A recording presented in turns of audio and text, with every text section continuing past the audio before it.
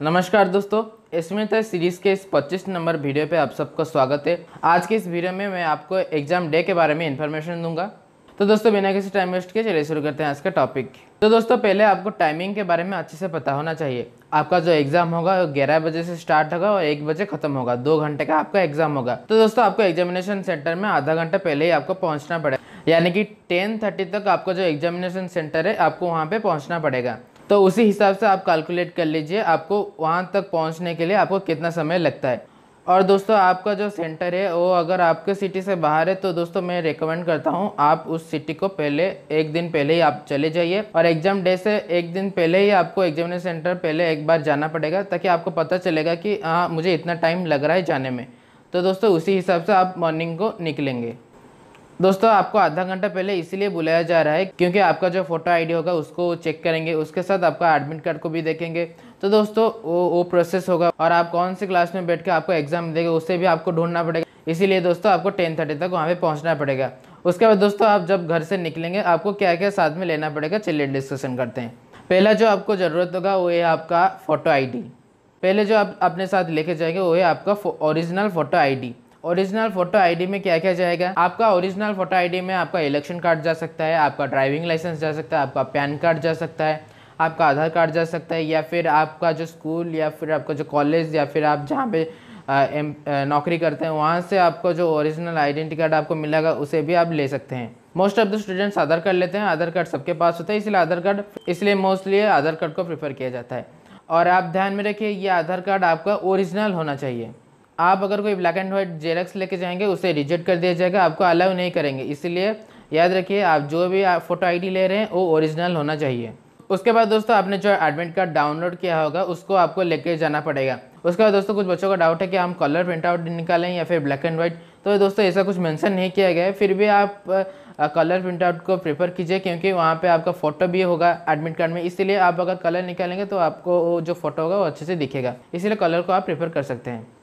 उसके बाद दोस्तों आपको ब्लू या ब्लैक कलर का बॉल पेन आपको लेके जाना होगा। तो दोस्तों फ़ोटो आईडी एडमिट कार्ड और आपका जो पेन होगा तो दोस्तों ये जो तीन चीज़ें हैं, आपको गलती से भी भूलना नहीं है, आप जब एग्ज़ाम के लिए निकलेंगे। तो दोस्तों आपने अगर एडमिट कार्ड अब तक डाउनलोड नहीं किया है तो आप ऊपर आई बटन में देख सकते हैं कैसे डाउनलोड करना है। उसके बाद दोस्तों आप आसानी से एडमिट कार्ड डाउनलोड कर सकते हैं। तो दोस्तों एक एग्ज़ाम्पल लेते हैं फॉर एग्ज़ाम्पल बीजेपी कॉलेज को हम लेते हैं भुवनेश्वर में। तो दोस्तों एक एग्ज़ाम्पल लेके चलते हैं। फॉर एग्ज़ाम्पल आपका जो सेंटर है, वो आपका बीजेपी कॉलेज है। आप जब बीजेपी कॉलेज में पहुँचेंगे फ्रंट गेट में आपको रोक दिया जाएगा।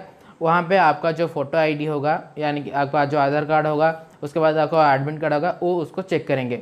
उसके बाद दोस्तों, वो गेट पार करके आप जो कॉलेज को बिल्डिंग में पहुँचेंगे, वहाँ पे आपको दो लाइन मिलेगा। एक होगा यूजी का लाइन एक होगा पीजी का लाइन आपको यूजी के लाइन में आपको खड़े होना है। वहाँ पे अथॉरिटीज होंगे, वो आपको आपको उनका अपना रोल नंबर बताना है। वो आपको बता देंगे कि आपको किस तरफ़ जाना है। उसके बाद दोस्तों, आपका जो एग्ज़ाम हॉल होगा, उसको आपको ढूंढना पड़ेगा। एग्ज़ाम हॉल को पहुँचने के बाद बेंचेस में आप देखेंगे आपका रोल नंबर कहाँ पे लिखा है। जहाँ पे आपका रोल नंबर लिखा होगा, वहाँ पे आपको जगह बैठना है। उसके बाद दोस्तों, क्लास में जो अथॉरिटीज होंगे, यानी कि इन्विजिलेटर होंगे या फिर जो एग्जामिनर्स होंगे, उसके बाद वो जो बोलेंगे, आपको उसी के हिसाब से आपको काम करना है। वहाँ पे आपको क्वेश्चन बुकलेट मिलेगा, उसके साथ आपको एक ओ सीट मिलेगा। ओ सीट में जो भी डिटेल्स उन्होंने लिखे होंगे, उसको आपको अच्छे से मैंशन करना है। उसके बाद दोस्तों, जो बुकलेट होगा, उसमें आपको आंसर नहीं लिखना है। वहाँ से आपको क्वेश्चन अच्छे से पढ़ना है। उसके बाद यहाँ पे ओ एम आर सीट में A B C D option होगा। वहाँ पे आपको अच्छे से आपको मार्क करना है। दो घंटे खत्म होने के बाद आपको जो एम आर सीट होगा, उसके साथ साथ आपको क्वेश्चन बुकलेट भी लौटाना है। तो दोस्तों, यहीं पे आपको एक मेजर डाउट आपका क्लियर हो गया होगा कि सर हमें प्रीवियस ईयर क्वेश्चन का लिंक दीजिए। जब इसलिए आपका डाउट क्लियर हो गया होगा कि जब आपका एग्ज़ाम खत्म हो जाएगा, वो क्वेश्चन ले जाता है। इसलिए प्रीवियस ईयर क्वेश्चन का जो सवाल है, वो उठता ही नहीं है। तो मान लीजिए आपका अगर दो घंटे से पहले आपका एग्ज़ाम खत्म हो गया, आप जा सकते हैं। हाँ आप जा सकते हैं, पर बारह बजे से पहले आप नहीं जा सकते। उसके बाद आप जा सकते हैं। पर दोस्तों, आपके लिए अच्छा है ये जो एग्ज़ाम है, इसमें नेगेटिव मार्किंग नहीं है। इसीलिए सब क्वेश्चन को आप अटेंड कीजिए। दो घंटे तक अच्छे से आपको सब क्वेश्चन पढ़ना है। उसके बाद सबको अटेंड करना है। नेगेटिव मार्किंग नहीं है, इसलिए सब क्वेश्चन अटेंड कीजिए। ताकि जब सब क्वेश्चन अटेंड करेंगे, आपका ज़्यादा चांस होगा कि आपको एक हायर रैंक मिलेगा। क्योंकि उस रैंक के बेसिस पे ही आपका जो एडमिशन होगा। उसके बाद दोस्तों आपको सौ क्वेश्चन होगा। सौ क्वेश्चन के लिए आपका सौ मार्क रहेगा, यानी कि एक क्वेश्चन का आपका एक मार्क होता है। जितना ज़्यादा आप करेक्ट आंसर देंगे उतना ज़्यादा मार्क रहेगा। पर दोस्तों, आपका रिज़ल्ट निकलने के दिन आपने कितना मार्क्स सिक्योर किया, वो नहीं निकलता है। इसलिए जो बच्चे मुझे पूछ रहे कि, सर, हमें मिनिमम कितना मार्क चाहिए ताकि हम ये एग्ज़ाम को पास कर सके? तो दोस्तों ऐसा कुछ नहीं है कटअप मार्क भी नहीं है। आपने कितने क्वेश्चन करेक्ट किए, कितने क्वेश्चन रॉन्ग किए, आपने कितने मार्क्स सिक्योर किए, ये कुछ नहीं निकलता आपको जो रिज़ल्ट निकलने, सिर्फ़ दो रैंक मिलेगा, एक जनरल रैंक मिलेगा, एक कैटेगरी रैंक मिलेगा। आपका जो सिलेक्शन होगा, वो आपका कैटेगरी रैंक के ऊपर आपको सिलेक्शन होगा। तो दोस्तों ऐसे ही बहुत सारे जो डाउट्स हैं उसके रिगार्डिंग इन तमाम डाउट्स के ऊपर मैंने ऑलरेडी वीडियोस बना के रखा हुआ है। आप प्ले लिस्ट में जाके आपका जो डाउट है उसके रिगार्डिंग वीडियो सर्च कीजिए, आपको मिल जाएगा। और आपको अगर उससे रिगार्डिंग नहीं मिला तो मुझे कमेंट में बताइए, मैं आपको उसके लिए, मैं आपको उसके लिए बता दूँगा। और अगर कुछ ज़्यादा ही डाउट रहा मैं उसके लिए और एक वीडियो बना दूँगा। उसके बाद दोस्तों, कुछ बच्चों ने पूछा ने एग्ज़ाम खत्म होने के बाद क्या होगा? एग्ज़ाम खत्म होने के बाद रिज़ल्ट निकलने के दिन तक आपको वेट करना पड़ेगा। रिज़ल्ट जब निकलेगा, उसके बाद आप अगर, आपको अगर अच्छा रैंक आया होगा, उसका आपको एक कॉल लेटर मिलेगा। कॉल लेटर मिलने के बाद आप काउंसलिंग अटेंड करें। काउंसलिंग में आपका अगर एडमिशन हो जाता है तो आप कॉलेज ज्वाइन कर सकते हैं। तो दोस्तों, ये एग्ज़ाम ख़त्म होने के बाद आप रिलैक्स मत हुए आपने अगर नीट का फॉर्म फिलअप किया है तो नीट पे फोकस कीजिए। अगर नीट नहीं हुआ तो फिर आप यहाँ पे आ सकते हैं। उसके बाद दोस्तों एग्जामिनेशन हॉल में आपका क्या क्या अलाउ नहीं है? आपका मोबाइल फ़ोन आपका कैलकुलेटर आपका पेजर्स आपका स्कैनिंग डिवाइसेस और एनी अदर इलेक्ट्रॉनिक डिवाइसेस आपको स्ट्रिक्टली प्रोहिबिटेड है एग्जामिनेशन हॉल में। उसके बाद दोस्तों, कुछ ऐसे चीज़ों के बारे में डिस्कशन करते हैं जो कि आपका एडमिट कार्ड में मेंशन नहीं है, पर आपका डाउट है। फॉर एग्जांपल आपका ड्रेस कोड क्या रहेगा? दोस्तों ड्रेस कोड के बारे में आपका एडमिट कार्ड में या फिर आपका जो ब्राउचर है, उसमें कोई भी कुछ मेंशन नहीं किया गया है। हमारे टाइम भी नहीं था, आपके टाइम में भी नहीं है। जो जो आपका एडमिट कार्ड में इंपॉर्टेंट इंस्ट्रक्शन है, उसको एक बार अच्छे से पढ़ लीजिए, जो कि हमने इस वीडियो में ऑलरेडी कवर कर चुके हैं। तो दोस्तों, आपको क्या पहन के जाना पड़ेगा?